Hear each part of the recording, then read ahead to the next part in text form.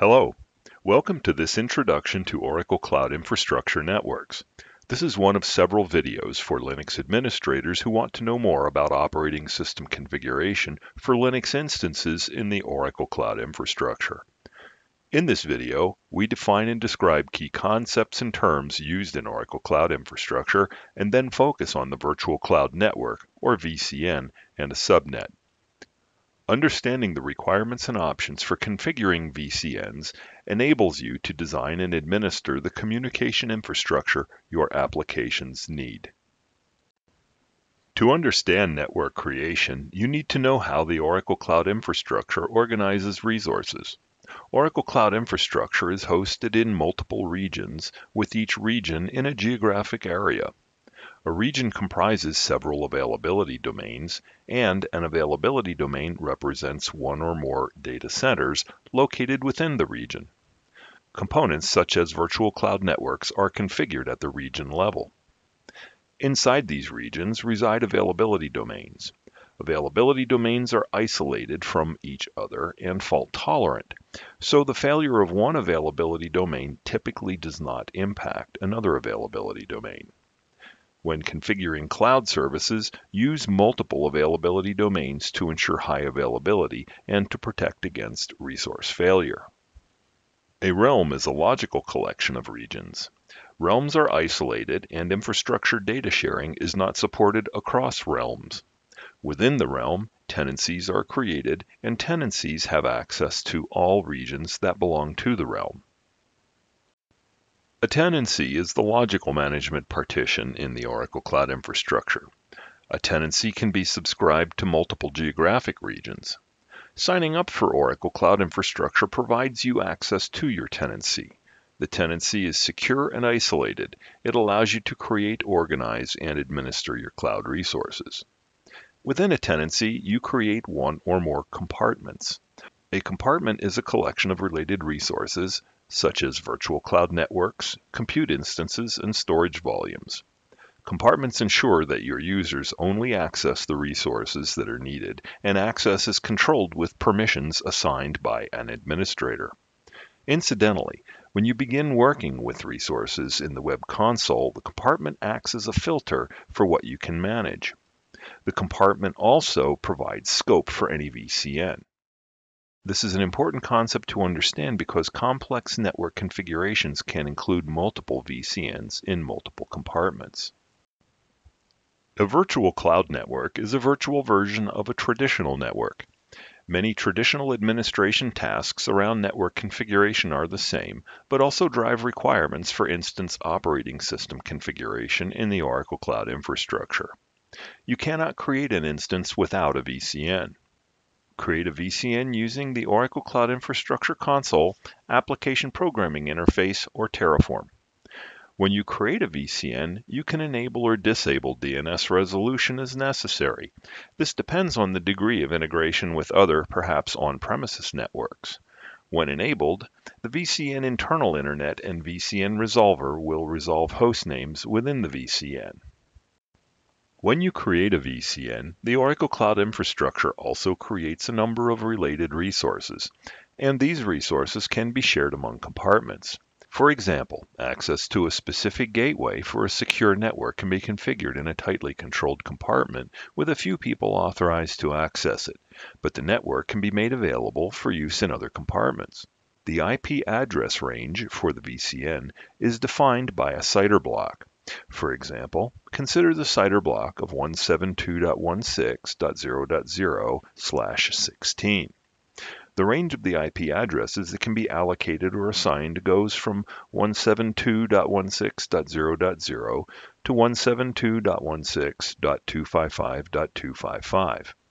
Oracle Cloud Infrastructure reserves the first two and last IP addresses in the range. The VCN also offers many different ways to interconnect to other networks in the infrastructure and with your organization's networks. The Internet Gateway enables access to the public Internet. The Dynamic Routing Gateway is used to interconnect with networks outside the Oracle Cloud infrastructure. And the Local Peering Gateway is used to interconnect VCNs within the compartment.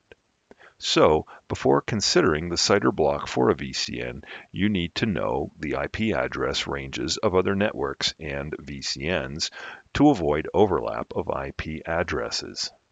Within the VCN, subnets are used to implement connections to and from instances in the Oracle Cloud Infrastructure and elsewhere. The first consideration when planning or creating subnets is the CIDR block for the range of IP addresses. The subnet CIDR block must specify addresses within the range of the VCN. For example, a subnet CIDR block could be 172.16.1.0/24. This provides for 256 addresses, including those reserved by Oracle Cloud Infrastructure. The subnet CIDR block cannot overlap with other subnet CIDR blocks. Each subnet you define in the cloud network can either be a single availability domain or span all the availability domains in the region. Oracle recommends the subnet span all availability domains. A VCN with at least one subnet is required to create an instance. The subnet contains the instance VNICs, which include the primary VNIC created with the instance and any secondary VNICs created later. All instances on the subnet use the same VCN resources like the route table, security lists, and DHCP options. When you create an instance, you specify if that instance has a public IP address. A subnet must be public to allow an instance access to the public internet. Private subnets will not allow allocation of a public IP address for an instance. Further, an instance can have only private access even if it is on a public subnet.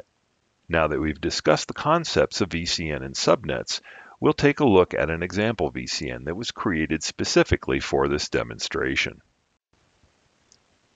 This video walks you through an example VCN in the Oracle Cloud Infrastructure and highlights key aspects of the VCN and its subnets. Understanding the organization of VCNs will help you better perform your Linux administration tasks.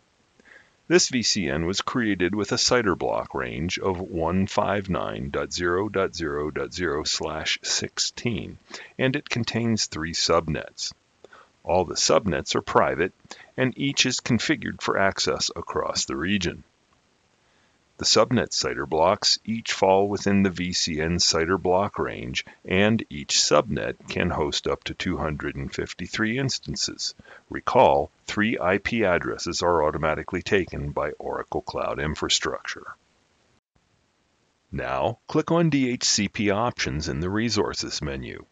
Here, the DNS type is Internet and VCN Resolver. This option lets instances resolve host names for servers on the Internet and for other instances on the VCN. Click on Show to see the search domain. The search domain is a string constructed from the characters of the VCN name prepended to oraclevcn.com. Click on Virtual Cloud Network Details in the breadcrumbs to see the default VCN display. Click on Security Lists. The only security list for this VCN is the default, so click the security list name to see details. There are three rules. The first supports the use of SSH for accessing instances on the VCN. The other two rules are needed to support the instance while it runs in the Oracle Cloud Infrastructure. Click on VCN 159 in the breadcrumbs, then click on Route Tables only the default route table appears, so click on the route table name. There are two route rules configured for this VCN. They are rules that allow connection through local peering gateways to two other VCNs in the compartment. Now, click on VCN 159 in the breadcrumbs, then click Subnets. Click on the name VCN 159.3. Subnet details appear. Click on Show to display the DNS name. See that the DNS name contains the string VCN1593, which are the characters of the subnet name prepended to the VCN search domain. In this presentation, we defined and described essential Oracle Cloud Infrastructure concepts, including regions, availability domains, and realm. We discussed tenancy and compartments as ways to manage access to Oracle Cloud Infrastructure resources, and we introduced the concept of Virtual Cloud Network, or VCN, and VCN Subnet. The discussion was followed by a demonstration in which you examined a VCN, its route rules, security list, and a subnet. For additional Linux learning opportunities, visit the Oracle Linux Learning Library at www.oracle.com slash go-to slash Linux Learning Library. Training for the Oracle Linux Cloud Native environment provides presentations on cloud native technologies. See www.oracle.com slash go-to slash Linux Cloud Native Learning and see the home for all of Oracle Cloud Infrastructure documentation at cloud.oracle.com. This ends the presentation. Thank you for watching.